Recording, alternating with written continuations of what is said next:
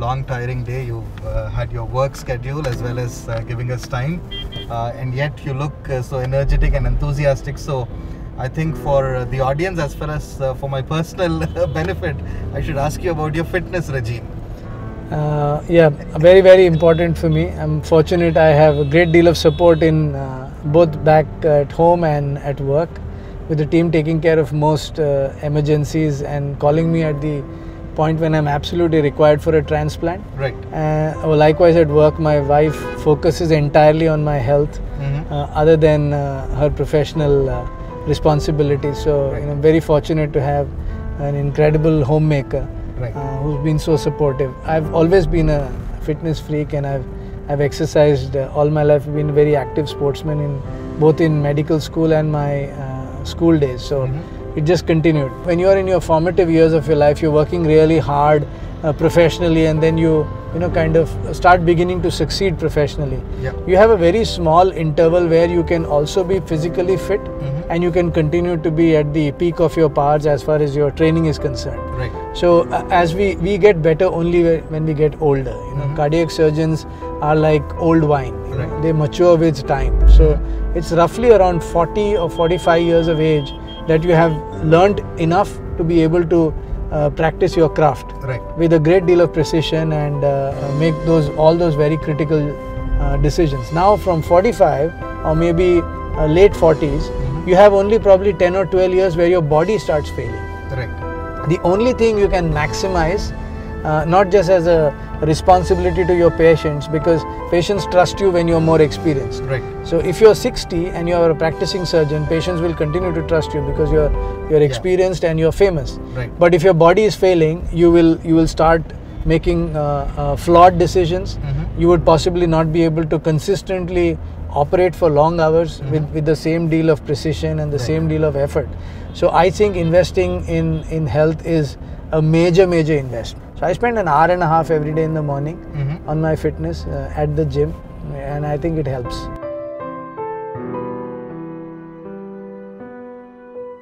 Right, doctor. We've got a sweet ride back home. So uh, let's talk about uh, your interests in uh, driving and cars and so on. Yeah, everyone, everyone uh, uh, loves cars. So, Right. I mean, I, I'm no different.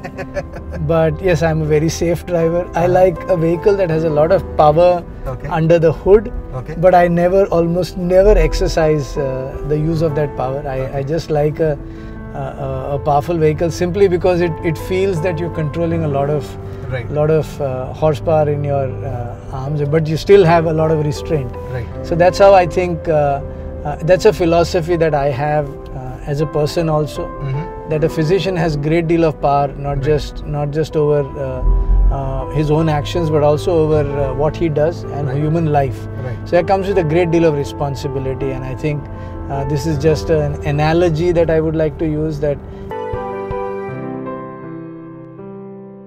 Right. So I see this, uh, the surgeon and the person. It's it's a, a great mix of uh, qualities that you take from your surgical life into your personal life, and from your personal life into your uh, surgical life. a sense of fulfillment just doesn't come from what you do. I think Right. it also comes from appreciating everything that is around you. Right.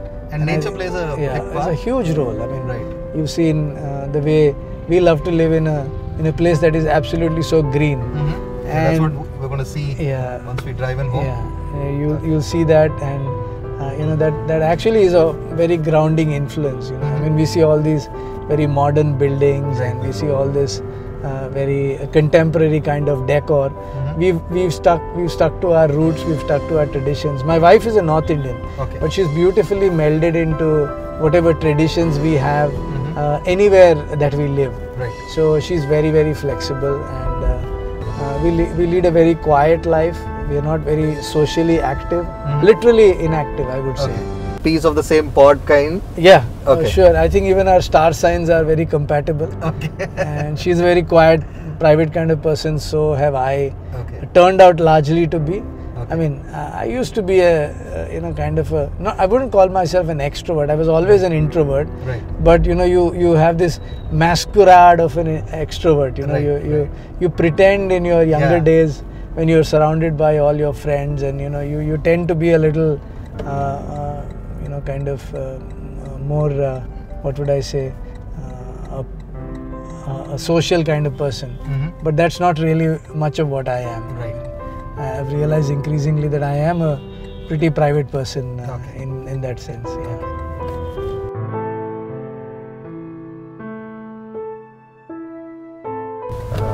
So you've uh, mentioned uh, your wife uh, quite a number of uh, times. So where did you guys actually uh, meet? And uh, let's hear about that because we are talking this episode to a heart surgeon. so we should talk about the matters of heart. She's probably the first person, the first female, I mean, the first person from the opposite te- sex that I uh, uh, learned to know well. Uh-huh. And I was immediately attracted, attracted to her because she's a very simple person. Right. Uh, uh, not just uh, extremely attractive to look at. She's a she's an amazingly simple person, and though she came from a very uh, very uh, up uh, up class background, Mhm. uh, she was very quiet and uh, not a loud person. Mhm. And those are things that actually really attracted me to her. You know, she was not this she was not this kind of over uh, reacting. You know, kind of very very she always had those features of somebody who would be who would become a wonderful partner. The country, obviously, uh, it was it was quite unusual, Right. but uh, uh, that was not the flavor of the day, if, Okay. if I may use that term. So, And how was it from her end? Was it a long so, courtship? Yeah, it was a it was a it was not a very long courtship. I think she uh, she uh, mm, she kind of uh, you know accepted right from the beginning, Mhm. and that's when uh, she started actually uh, more than the affection. I think it was her support and her encouragement. You know Right. that uh, helped me through all those very difficult times. I can't even think about the uh, uh, uh, think about the struggle that she went through in all Somehow those days. it, it, it comes so inherently to them and somehow Yeah. it doesn't come so inherently to us. yeah, we are a little selfish as Yeah.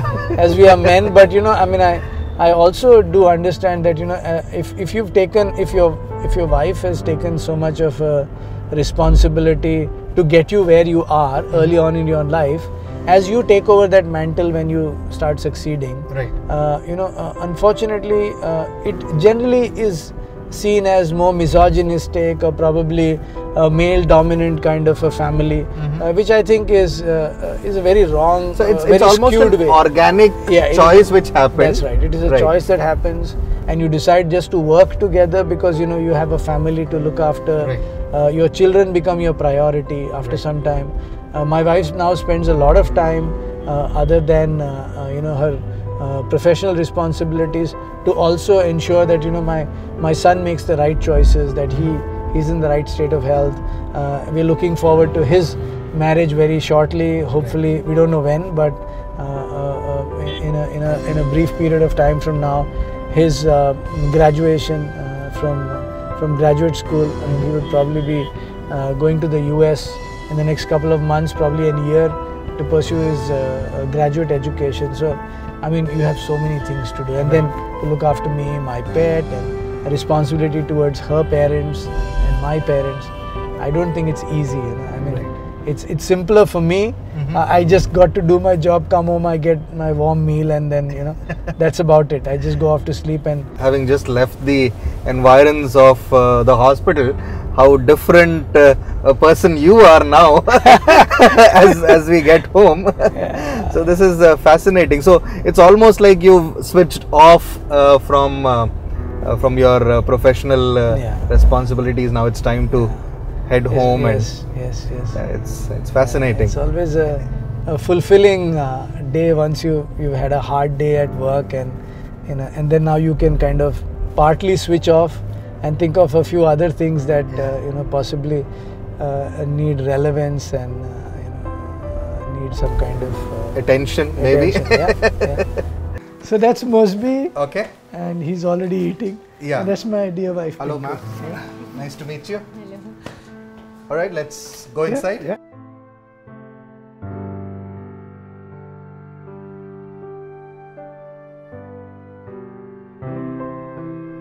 Uh, right, uh, Dr. Sandeep, uh, Dr. Pingu, thank you for um, having us at your place. It's lovely out here. Um, we've had a long conversation through the day, so uh, I throw this question to Dr. Pinku. Uh, we've known uh, Dr. Sandeep uh, as a surgeon, as a professional, but let's talk about Dr. Sandeep as a person. So, who else but you to talk about it? So he's a very simple, humble, loving person. Uh-huh. Yeah, I mean, very easy to live with. Right. So, talking about living with, I mean, he was uh, earlier uh, mentioning how you are his, uh, uh, you know, source of strength and support and everything that uh, he's uh, probably achieved in his life is all down to the support that he's had from from you. Uh, so, how about you know managing your own career, his career, home? Uh, so, the difficult choices that you had to make, the journey that you've had uh, with him. So, if you can talk about that. I mean, we just went with the flow as the opportunities keep uh, coming by. We try to see if it's good or bad, and then accordingly kind of pick it up and go with the flow. So there was no basic element of sacrifice or doing something extraordinary. Um, what needed to be done at that particular point, we just went ahead and did it. And uh, having a non-ambitious person as a partner always helps. I had no major ambitions in life. I mean, I'm not a go getter or a very outgoing person. So I was happy the way things came my way. When I had a good career option, I worked very hard and I succeeded. It was mainly I had a good um, practice in Dhaka, Bangladesh, and second time it was very good at Gurgaon, Delhi. So those two places, Fortis Hospital mainly, we did very well. Personally, I did very well. But again in Chennai, I'm having a little relaxed time, so it's good and I take it in the stride the way it comes. Mm, It needed a lot of sacrifice. I mean, she's given up. I mean, yeah, she, yeah, she's but it was kind of. all needed, you know. It was just the time, the situation. Um, your interests at home with one another, what do you guys like doing in your downtime. Uh, as you can see, he's an antique collector, so he keeps bringing old pieces. We sit and clean them up and kind of arrange them and fix the house. Then It's beautifully like- done, by the way. Yeah, so it's all his creation. I just support him in Sure. whatever way he wants. Uh, then personally, I like doing a lot of cooking. And Mm-hmm. I like to cook myself. Never really had a servant cooking for us. Sure. So, uh, gardening, growing vegetables, and we have two wonderful boys. One is in Singapore. Okay. So whenever he comes home, he gets all the attention, and the Yeah, second one is here. perennially attention seeking. So Mother's boy always. mother's boy. yeah. You spoke about uh, cooking and Dr. Sandeep, I he is uh, as fit as a fiddle. So, is that uh, the secret of his fitness? Oh yeah. Yeah, that is. I would take credit for that, hundred percent. 100%. Yeah, I see to it that what he eats is For the is discipline that she very well proportioned and very well thought about. Yeah. Sure. quality of the meal, the, the nutrient, nutrient Content, uh, no junk, Mhm. you know, and timely, uh, absolutely timely uh, uh, uh, instructions to consume food. Yeah, you have an active schedule, so Yeah, you need somebody to. All that is her. All that is her. Sure. All And you is her. spoke about uh, gardening. You have a beautiful garden. We just got a glimpse of as we walked inside. Yeah. So is that all you and? No, no, that is that is just the gardeners here. They Okay. came with the house, so they do a wonderful job. Um, but I, yeah, I grow vegetables and uh, do my own little bit here. And there. Right. Yeah, so talking of the gardens and the lawns, Dr. Sandeep, Hmm. uh, would it be fine if we just take a stroll Oh, yeah, outside and absolutely. uh, continue this uh, conversation and uh, Absolutely. uh, take it outside from here? Sure. Perfect. Perfect. Thank you, ma'am, for joining Sure. us. Yeah, Pleasure having thanks, you. thanks.